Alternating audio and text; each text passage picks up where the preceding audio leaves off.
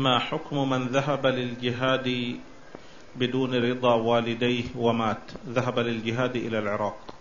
هذا عاصي عاص لوالديه وهو متحمل لهذه المعصية وقد قدم على ربه والله يتولاه لكن ما يجوز الجهاد إلا برضا الوالدين. هذا إذا كان فيه جهاد صحيح تحت راية مسلمة وفيه جيش أو أو سرية.